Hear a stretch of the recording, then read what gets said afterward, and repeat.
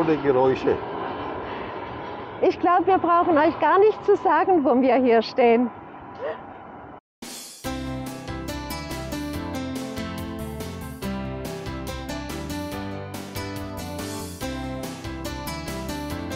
Hallo zusammen. Ja, erstmal hallo. Also, wie ihr sicherlich richtig vermutet, wir sind hier jetzt auf dem P1 auf der Messe in Düsseldorf, Caravansalon. Und ja, es ist hier schon wieder ganz schön viel was los. Das können wir euch schon sagen. Es ist hier ein ganz schönes Ankommen. Obwohl wir noch viel zu früh sind. Aber das ist so gelaufen auf der Autobahn. Und dann haben wir gesagt, bevor wir dann noch eine Zwischenübernachtung einlegen, fahren wir hierher und sichern unser schönes Plätzchen. Ja, und das schöne Plätzchen haben wir vermutlich jetzt auch gefunden. Auf jeden Aber Fall bleiben wir hier jetzt stehen. Dreimal hin und her rangieren. Also das war jetzt sehr, sehr stressig. Aber ganz fix und fertig. Ja, Aber jetzt stehen wir gut. jetzt stehen wir gut und ja, und jetzt wollen wir dann auch mal schauen, dass wir für euch ein paar schöne Szenen von der Messe einfangen können. Genau. Mhm. Und für uns dauert es noch ein bisschen, aber für euch geht jetzt die Messe gleich los. Ja. Also, kommt mit rein. Ja, bleibt einfach dran. So, und jetzt geht's los. Wir, Ja. st- wir stehen hier, die sind schon alle unterwegs. Wir Ja. stehen nämlich hier in einer Morello Concord Kolonie. Ja, das sind alles Aussteller, die schon in der Halle sind. Und äh, wir machen uns jetzt auch auf den Weg. Und gleich geht's los.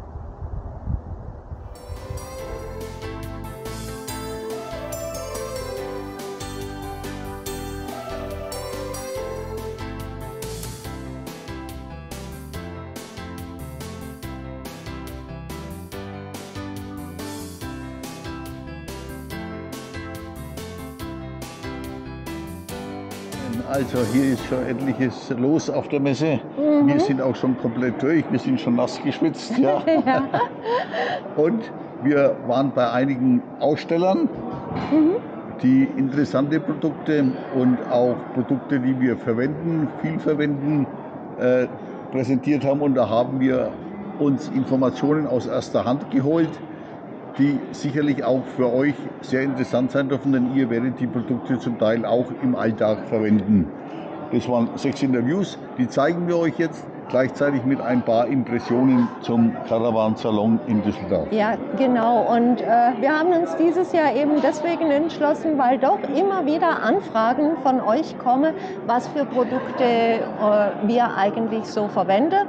Und deshalb haben wir uns gedacht, das wäre vielleicht mal interessant für euch, dass wir das sowas mal äh, machen könnten. Ja, war auch für uns interessant, denn Mhm. wir haben ganz neue Erkenntnisse zu den Ja. Produkten äh, gewonnen und vor allen Dingen erfahren, warum wir sie verwenden und warum sie so gut funktionieren. Ja, ja, genau. Und jetzt hoffen wir natürlich, dass euch das interessiert. Und Und ja, schaut euch an. ja, genau. In diesem Video erfahrt ihr Produktdetails von Dasha und Patrick, von der Antje, vom Franco, der Christiane, vom Lukas und vom Carlo.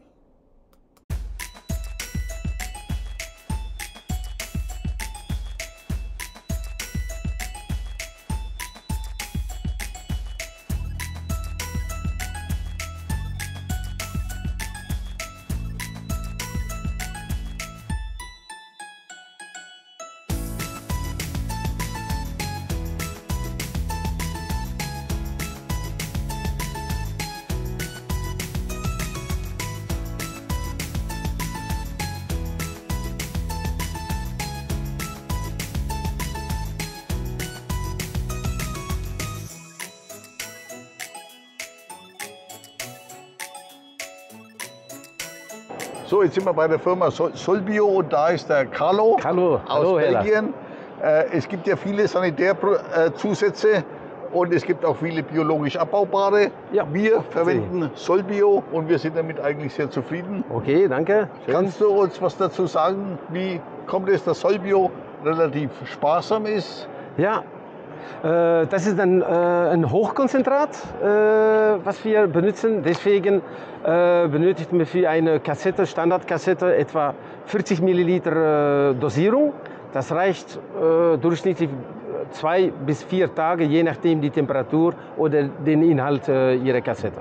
40 Milliliter. Das heißt, eine kleine Verpackung von 800 Milliliter haben Sie dann 20 Dosierungen schon. Mhm. Ja. Das heißt, man kann das für 20, 20 Mal zum 20 Mal, ja, 20 Mal reinigen oder die größere Verpackung 1,6 äh, ist der Standard eigentlich für 40 Dosierungen.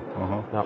Und die bewirken einfach, dass die, der Geruch etwas kompensiert wird, denn etwas Geruch bleibt ja immer über, selbst wenn man eine Sogtoilette hat. Ja. Und dann ist es einfach angenehmer. Biologisch abbaubar? Ja, wir zersetzen die Fäkalien, die äh, Bakterien werden stimuliert äh, in die Toilette. Also alles wird flüssig, auch normale Toilettenpapier was, was Sie zu Hause benutzen, kann einfach verwendet werden, äh, dann, damit es einfach zu entsorgen ist. Sie vermeiden dann auch, dass Ablagerung entsteht, Kalkstein, Urinstein, solche ja, Sachen. Okay. Sie haben immer eine äh, saubere Toilette. Mhm. Also wir können das bestätigen und deswegen benutzt man das auch ganz gerne. Vielen Dank für die kurze ja, Information okay. und viel Erfolg auf ja. der Messe. Ja, schöne Reise nach Norwegen. Ja, okay.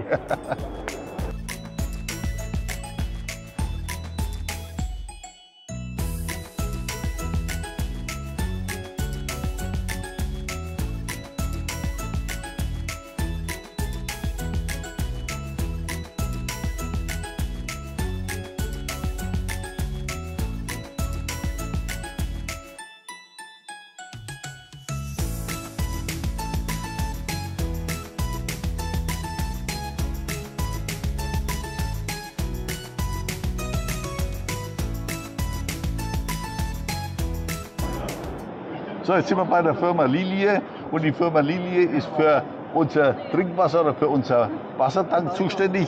Seit fünf Jahren haben wir unseren Gustel und verwenden nur dieses Produkt. Wir haben noch nie verdorbenes Trinkwasser gehabt oder in unserem Wassertank, egal bei welcher Hitze, also auch momentan nicht. Wir wundern uns schon immer, dass man so Röhrchen reinsteckt. Manche nehmen ja Silberionen, die ja gar nicht so äh, problemlos sind. Aber wir stecken nur das Röhrchen rein und haben die Probleme. Wie funktioniert sowas? Da ist übrigens der Lukas, der erklärt uns das jetzt. Super, erstmal vielen Dank für das nette Feedback. Freut uns sehr. Und zwar sprechen wir hier von unseren sogenannten Certec-Kapseln. Wir haben hier das Certec 3 in 1, was sich so schön in Ihrem Tank einsetzen. Und zwar funktioniert es über das Bioelektrodepot und der Certec-Keramik. Die Bioelektrodepots vom äh, Certec erzeugen einen kleinen minimalen schwachen Strom, das die Bakterien anzieht und die dann in der ja, minimal kleinen scharfkantigen Keramik verenden. Und somit hat man keine Schlierenbildung, man hat immer genießbares Wasser, das Wasser bleibt länger frisch und ja, gibt es in verschiedenen Größen, für die verschiedenen Tankgrößen in 30, 100 und 200 Liter. Und das Wartu ist für eine ja, Kaffeemaschine. Kaffeemaschine, richtig. Oder eine, eine Wasserflasche. Das heißt, im Prinzip ist das alles, da ist eine kleine Energie, die irgendwie freigegeben wird. Genau. Und die zieht die Bakterien an, die Bakterien zieht es ins Porzellan rein und da werden die getötet oder abgetötet. Richtig, genau, in die Keramik. Wir haben auch hier einen Prüfbericht. Ja. Wir haben das alles testen lassen. Können Sie auch gerne im Video einblenden. Wir sind die besten Tester. Wir haben seit fünf Jahren immer sauberes Trinkwasser, wie, wie gesagt, bei jedem Wetter, bei jeder Hitze. Und uns hat es immer gewundert, wie das funktioniert. Danke für die Auskunft. Vielen Dank wir, fürs Feedback. Wir empfehlen das Produkt gerne weiter und wir benutzen es auch weiterhin natürlich sehr gerne. Dankeschön.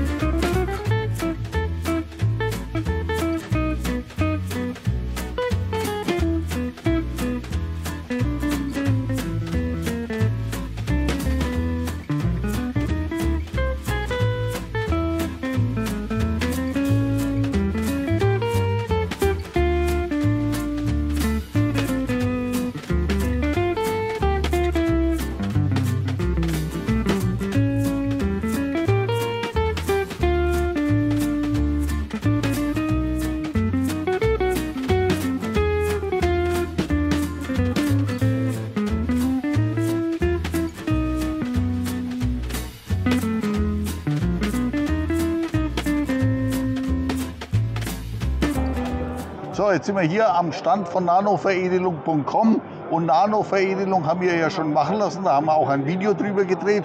Hier ist jetzt aber die Christiane. Genau, Die Christiane ist von der Filiale in Essen. auch richtig. Und sag uns einfach mal ganz kurz, was die Nanoveredelung so kann und was die eigentlich macht. Gut. Wir äh, reinigen Oberflächen und versiegeln die hinterher. Ich sage immer, das ist wie so ein Glasüberzug über allem. Und der Effekt ist, das Material wird geschützt und kann einfacher gereinigt werden. Das ist in ganz knappen Worten.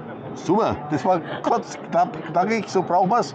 Und das Ganze, das ergänzt sich jetzt noch, die- Wassertropfen perlen dann ab wie so ein Lotus-Effekt. Ja? So ist es. Und dadurch kriegt man auch das äh, Wohnmobil wieder leichter sauber. Wir haben es jetzt selber seit ein paar Monaten und sind zufrieden damit. Unser Wohnmobil schaut viel schöner aus. Vielleicht kannst du das einmal an dem Stein zeigen. Hier kann man mal kurz zeigen. Das ist der Nano-Effekt. Das heißt, die Wassertropfen bleiben dort haften bzw. rutschen runter, zum Beispiel beim Wohnmobil. Jawohl. Und damit ist die Reinigung wesentlich einfacher. So ist es. Nähere Infos gibt es unten. Da verlinken wir die Seite www.nanoveredelung.com. Viel Spaß noch auf der Messe. Schön, dass ihr uns besucht habt. Und vielen Dank für die Auskunft. Okay, tschüss.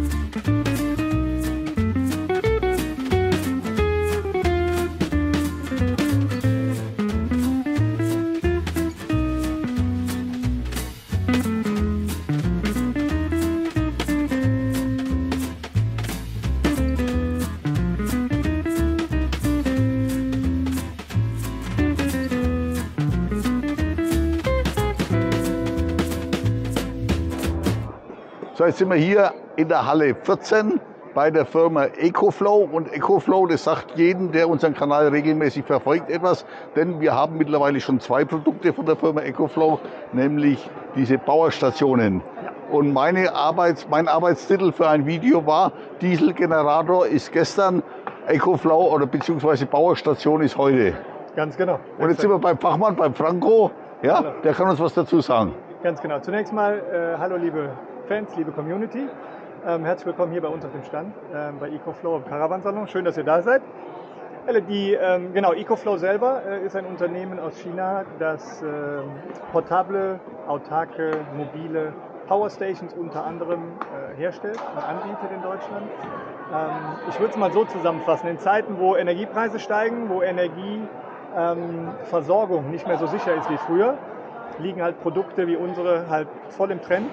Ähm, Ecofo-Produkte sind halt nachhaltig ähm, Hinblick, im Hinblick auf äh, Stromerzeugung, Stromspeicherung und Stromnutzung, wo immer ihr seid, ob im Freien, auf Reisen, ähm, aber auch zu Hause auf Balkonen, in Gärten, ist das die neue Art, wie man Strom erzeugt und Strom nutzt. Es gibt mobi- mobile Solarmodule dazu, die teilweise sogar bis zu 400 Watt äh, Ladestrom aufnehmen. Korrekt? Ja, und damit lässt sich dann schon einiges in eine Bauerstation rein, rein äh, basteln.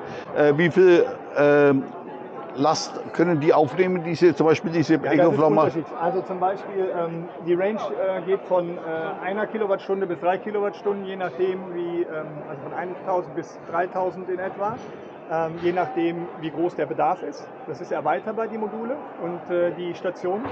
Ähm, die Lademöglichkeiten, du hast eben angesprochen, ist natürlich klar, Solar als nachhaltigste Form. Ähm, sie kann aber auch während der Fahrt geladen werden. Ja, Ähm, Energieverschwendung gibt's- während der Fahrt, da ja. Da gibt es unterschiedlichste ähm, Möglichkeiten, wie man heutzutage halt ähm, Strom lädt. Also Ecoflow habe ich mir sagen, das ist auf jeden Fall der Marktführer, was diese Bauerstationen angeht. Trifft es zu?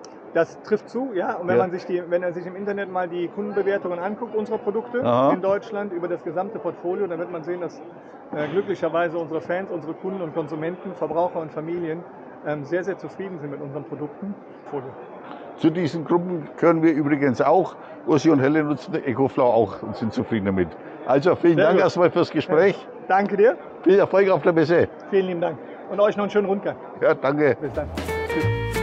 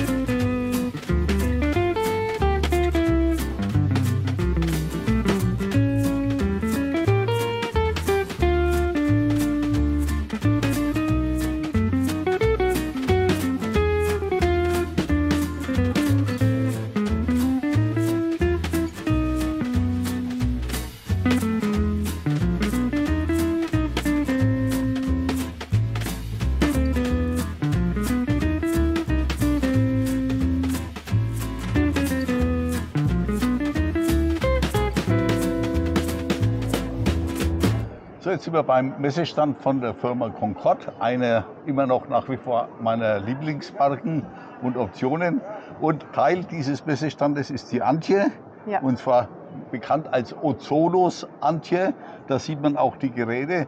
Ein Luftreiniger, wir selber haben keinen und wissen auch nicht, wie er funktioniert.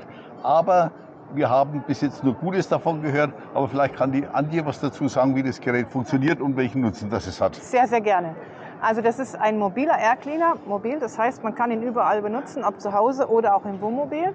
Er kommt eigentlich aus dem Küchenbereich, denn er ersetzt die Dunstabzugshaube. Das heißt, er beseitigt sämtliche Aerosolfette beim Kochen im Wasserdampf. Er beseitigt die Gerüche. Er ist mega leise. Er hat keinen Reinigungsaufwand, weil es ist kein Filter drin. Er wird nur eingeschalten und er läuft. Und trotz dessen, dass er auf Ozonbasis arbeitet, ist er vollkommen unbedenklich für Mensch und Tier. Nicht zu vergleichen mit einem Ozongenerator. Und er hat seinen ganz festen Platz im Wohnmobil gefunden, denn wir haben hier die Situation, der Hund ist an Bord, wir haben manchmal Raucher an Bord, wir kochen gerne auch mal einen Fisch, auch im Wohnmobil. Wir haben die Aerosolfette, das heißt die Oberflächen, wo sich diese Fette niederlegen, die gibt es nicht mehr, diese Fette. Und natürlich die Abwassergerüche und die Viren und die Bakterien. Ja, all Muss ich- das spaltet er auf. Mhm. Jetzt muss ich nur noch mal nachfragen. Äh, er hat keinen Filter drin. Wie wird Nein. das Gerät gereinigt Nein. oder wo kommen dann die Fette hin? Es wird alles aufgespalten, auch die Fette werden mit einer Vierfachaufspaltung aufgespalten. Es zerfällt mikroklein, man sieht es nicht, es geht zu Boden, wird beim Staubwischen oder Staubsaugen aufgenommen und somit haben wir keinerlei Belastung mehr. Also die Fette, alle Belastungen verschwinden. Auch ein großes Thema für Allergiker, Mhm. Pollenallergiker, Schimmelpilze, Milben in den Polstern, wird alles rückstandslos beseitigt. Also alles, was in der Luft nichts zu suchen hat. Okay, also, jetzt habt ihr mal Informationen zum Ozonus. Die Andi hat eine Webseite, die verlinken wir natürlich unten und da könnt ihr Genau. euch dann kundig machen. Sehr gerne. Ich freue mich Dank über jeden, der sich meldet. Gerne, danke dir.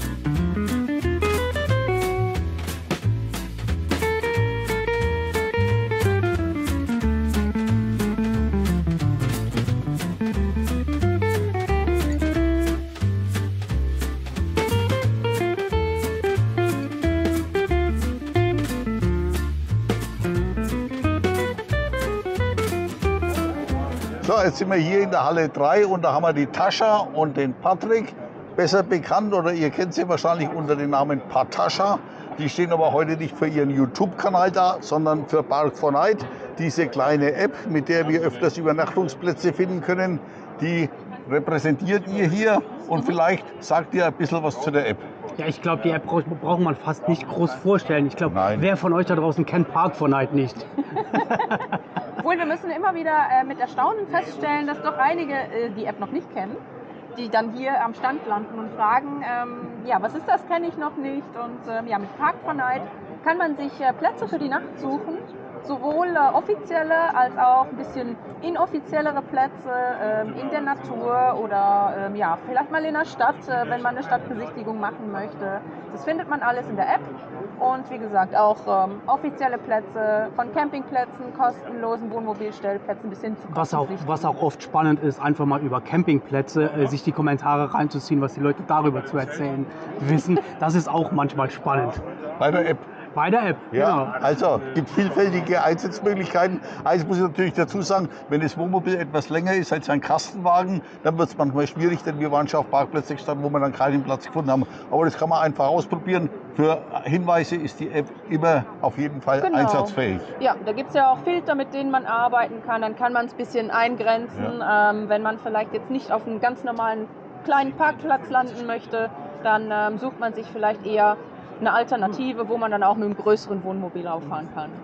Alles verlinkt unter diesem Video oder auf dem Kanal von Batascha. Ganz genau. Sehr gerne.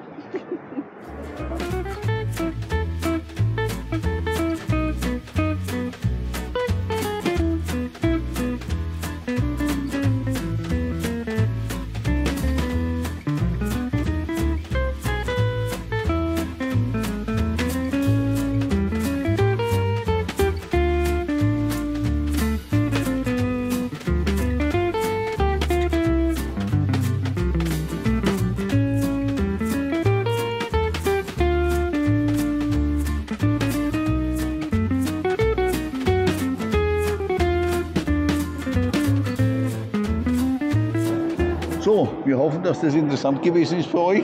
Also für uns war es interessant. Wir haben auch für manche Produkte, äh, die wir euch jetzt hier gezeigt haben, selber neue Erkenntnisse daraus gezogen. Ja, wir wussten vieles nicht, wie es genau funktioniert und Mhm. Ja. welche Vorteile äh, das insgesamt hat. Da Ja. haben wir auch noch viel dazugelernt. Und wir haben auch einige schöne Fahrzeuge entdeckt.